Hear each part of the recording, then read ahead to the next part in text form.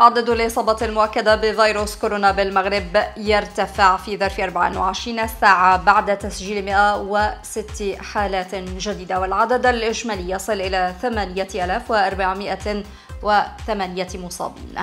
في الأخبار الدولية وزارة الصحة الإسبانية تعلن عدم تسجيل أي حالة وفاة خلال 24 ساعة الماضية و52% من الإسبان ينتقلون إلى المرحلة الثالثة من مخطط رفع العزل التام. في الرياضة الاتحاد الإيطالي لكرة القدم يعلن عن موعد فترة الانتقالات الصيفية والذي تغير بسبب تفشي فيروس كورونا. كاب 24 تيفي بطنجة نشرة الأخبار أهلا بكم. يعقد مجلس النواب غدا الأربعاء جلسة عمومية تخصص للأسئلة الشفهية الحكومية الموجهة لرئيس الحكومة حول السياسات العامة.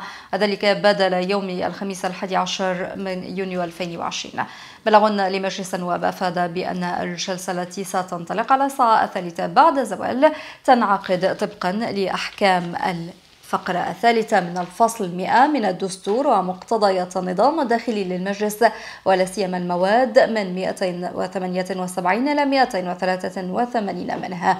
أضاف المصدر ذات أن هذه الجلسة ستعقد طبقا للإجراءات الوقائية الاحترازية المتخذة من قبل أجهزة المجلس.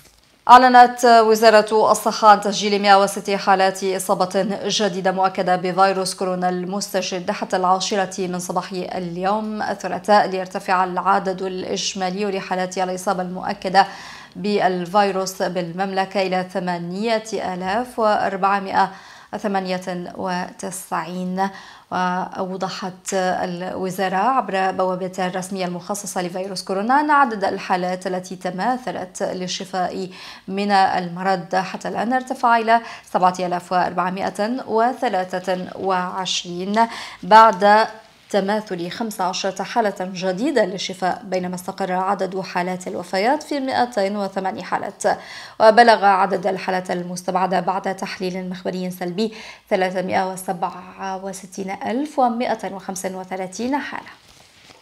دائما مع وزارة الصحة المغربية حيث أكدت اليوم الثلاثاء أنها اقتنت اختبارات الكشف عن المضادات الحيوية لفيروس كورونا المستجد بتكلفة أقل من السعر المتداول حاليا. أوضحت الوزارة في بلاغ لها ردا على ما نشرته إحدى الجرائد الإلكترونية بخصوص كلفة اقتناء هذه الاختبارات أنها اقتنتها ذات جودة عالية بتكلفة أقل من السعر المتداول حاليا والذي يعرف ارتفاعا مستمرا موازاة مع تزايد الطلب على هذا النوع منها في هذه الظروف الاستثنائية. وسجلت أن الجريدة نشرت معطيات مغلوطة وزائفة حول كلفة اقتناء اختبارات الكشف للمضادات الحيوية لفيروس كورونا المستجد. مستعينة في ذلك بنشر وثيقة مزورة وهو فعل يعاقب عليه القانون حسب بلاغ الوزارة. الآن إلى فقرتنا التواصلية اليومية نخصصها اليوم لأرباب النقل الدولي للبضائع والنقل السياحي ومدى تأثير جائحة فيروس كورونا على هذا القطاع خاصة بعد توقفه بسبب إغلاق الحدود والإجراءات الاحترازية التي تم اتخاذها لمواجهة الوباء. لنتابع. بالنسبة لهذا المشكل اللي عندنا تفاجئنا صراحة بواحد القرار بواحد القرار اللي جانا بشكل مفاجئ. أه وفيه هذا القرار أنه يمنع منعا كليا أه دخول الشاحنات أه المحملة بالبضائع إلى أرض الوطن. طبعا استفسرنا على هذا المشكل راسلنا وزارة الخارجية وكذلك وزارة السياحة كذلك راسلنا مع رئاسة الحكومة لكن دون جدوى. يعني كيعطونا أجوبة سوقية. أه واللي استغربنا منه أكثر أنه هذا القرار كيستثنيو منه les semi-remorques les semi-remorques عفوا. بالنسبة للشاحنات الكبار اللي أكثر من 20 طن. هنا كنوضعوا واحد العلامه استفهام. علاش بالضبط علاش بالضبط هاد les semi-remorques سمحوا لهم أنهم يدخلوا للبلاد واش هاد les semi-remorques مش ما عندهمش الشافر ملي كنسفروا على الأمر كيقولوا لنا بأنه آه راه أنتم عندكم الشافر ممكن يدخلوا لنا كورونا للبلاد. ولكن واش هاد les semi-remorques خدامين par des commandes راه حتى هما عندهم الشافر ديالهم حتى هما خدامين نفس الخدمة ديالنا. طبعا راسلنا الحكومة لكن دون جدوى. وكما كنقولوا ملي كنهضروا على المعاناة ديالنا وعلى التعويضات كيقول لك راه حنا كنعطيكم ديك 2000 درهم للشهر. واش 2000 درهم للشهر هي اللي غتعوضنا المشاكل ديالنا؟ وكاين هنا البعض كاين البعض ديال الإخوان اللي عندهم شركات اللي راهم واصلة لهم les charges ديالهم يوميا أكثر من 8000 درهم باش ينقذوا الشركة ديالهم من الإفلاس. كسائر بلدان العالم يحتفل المغرب باليوم العالمي للبيئة وحيث تعتمد المملكة مجموعة من القوانين التي سنها المشرع لحماية البيئة ولحماية المجال من أجل هذا الموضوع معنا وداد العيدوني أستاذة التعليم العالي بجامعة عبد الملك السعدي منسقة ماستر المهن القانونية والقضائية بكلية الحقوق بطنجة. أستاذة وداد مساء الخير. بسم الله الرحمن الرحيم. شكرا للكاب 24 على هذه الاستضافة. بالنسبة لقوانين حماية البيئة فيراد بها مجموعة من القواعد القانونية التي يعتمدها المشرع قاصدا بها تنظيم أي مجال من المجالات المتعلقة بحماية البيئة سواء تعلق الأمر بحماية الوسط الطبيعي أو الصحة العمومية أو الأراضي الفلاحية أو غيرها. أي احترام وحماية كل ما تحمله الطبيعة. وبناء على هذا التعريف آه، يمكننا نقول بأن القانون البيئي يشمل مختلف القواعد القانونية التي تسعى من أجل حماية مختلف الموارد الطبيعية ومنع الاعتداء عليها. وبالرغم من وجود مجموعة من القوانين المتعلقة بحماية البيئة في المغرب إلا أن التلوث البيئي أصبح موضوع الساعة أمام ضخامة القضايا البيئية وتأثيراتها السلبية على التنمية المستدامة بصفة عامة. آه، الأمر الذي يثير تساؤلا جوهريا يتعلق بدور التشريع المغربي في المحافظة على البيئة في إطار واحد المنظومة قانونية تتكون من قوانين خاصة بالإضافة إلى مجموعة من القواعد القانونية في نطاق القانون المدني والقانون الجنائي. وبالنسبة للتشريعات البيئية في المغرب نجد القانون الإطار الذي هو بمثابة ميثاق وطني للبيئة والتنمية المستدامة والذي حدد مجموعة من الحقوق والواجبات تجاه البيئة حفاظا عليها ودرءا لكل إخلال بها كما وضع قواعد واضحة للمسؤولية والالتزام ونظاما للمراقبة البيئية. كما رسخ هذا القانون مبادئ أساسية تستوجب ربط التنمية المستدامة بحماية البيئة. ومن القوانين أيضا الخاصة بحماية البيئة في المغرب قانون المتعلق بحماية واستصلاح البيئة والذي يهدف إلى حماية البيئة بوجه عام و آه، يعني وضع قواعد أساسية ومبادئ عامة للسياسة الوطنية في مجال حماية البيئة واستصلاحها. أيضا من القوانين الخاصة بالبيئة نجد قانون آه، أو القانون المتعلق بدراسة التأثير على البيئة وتتجلى أهمية هذا القانون في كونه ينص على إحداث لجان جهوية.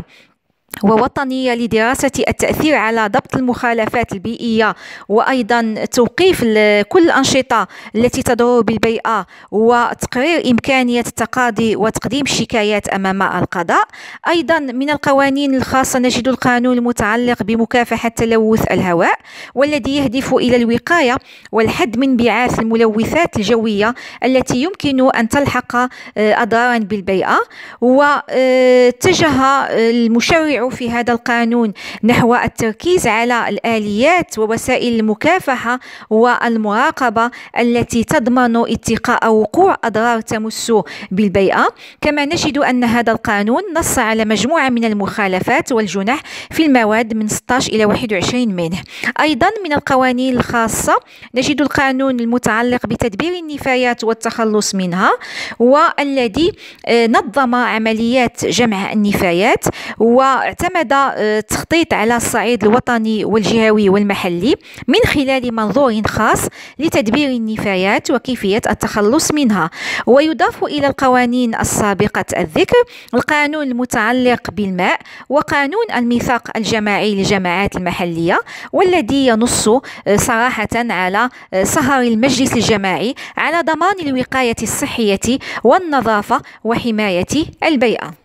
في الأخبار الدولية أعلنت وزارة الصحة الإسبانية أمس الاثنين أن إسبانيا لم تسجل أي حالة وفاة جديدة بسبب فيروس كورونا في ظرف 24 ساعة. ما جعل العدد الإجمالي لحالات الوفيات منذ بدء تفشي الوباء في البلاد يستقر في حدود 27136 بعد عدد الحالات الإصابة المؤكدة بالوباء واللي يعرف زيادة بثمانية وأربعين حالة إصابة في ظرف 24 ساعة مما رفع العدد الإجمالي لحالات الإصابة المؤكدة ب 241717 حالة. ودخلت إسبانيا منذ الرابع عشر من ماي شهرها الثالث من الحجر الصحي الشامل الذي سيستمر حتى ال 21 من يونيو. وانتقل حوالي 52% من الإسبان ابتداء من أمسية الاثنين إلى المرحلة الثالثة من مخطط رفع العزل التام والتخفيف التدريجي للقيود المفروضة في إطار حالة الطوارئ الصحية بينما سيظل سكان باقي المناطق والجهات الأخرى في إطار المرحلة الثانية. دوليا دائما أعلنت وكالة الأنباء الكورية الشمالية الرسمية أن بيونغ يانغ ستقطع اعتبارا من اليوم الثلاثاء خطوط التواصل السياسية والعسكرية مع كوريا الجنوبية وذلك بعد تهديد الشمال مرارا بقطع التواصل مع الجنوب إذا لم توقف سيول إرسال الناشطين والمنشورات المعادية عن عبر الحدود. وقالت الوكالة إن بيونغ يانغ ستقطع التواصل الكامل وتغلق خط الارتباط بالسلطات الشمالية والذي كان قائما عبر مكتب الارتباط بسيول كما ستقطع كل الاتصالات الأخرى وذلك اعتبارا من التاسع من يونيو. وكانت كوريا الشمالية قد حددت الجمعة الماضية بإغلاق مكتب الارتباط مع الجنوب إذا لم تمنع سيول ناشطين من إرسال منشورات إلى الشمال مناقضة للنظام الشيوعي. في الرياضة أعلن الاتحاد الإيطالي لكرة القدم أمس الاثنين عن موعد فترة الانتقالات الصيفية والذي تغير بسبب تفشي فيروس كورونا. وحسب البيان الرسمي للاتحاد الإيطالي فإن فترة الانتقالات الصيفية ستتم بين الفاتح من شتنبر والخامس من أكتوبر المقبلين فيما من المقرر أن تكون فترة الانتقالات الشتوية بين الرابع والحادي والثلاثين من يناير المقبل. وتوقفت منافسات الدوري الإيطالي في التاسع من مارس الماضي بسبب تفشي فيروس كورونا المستجد. ومن المقرر استئنافها في العشرين من يونيو الجاري بإقامة أربع مباريات مؤجلة عن الدورة الخامسة والعشرين تليها دورات الثانية عشر المتبقية من الموسم. بأخبار الرياضة كعادتنا مشاهدينا ننهي هذه النشرة الإخبارية. شكرا لكم على طيب الإصغاء والمتابعة. لمزيد من أخبارنا. تفضلوا بزيارة موقعنا الإلكتروني كاب 24 دمتم في حفظ الله ورعايته. إلى اللقاء.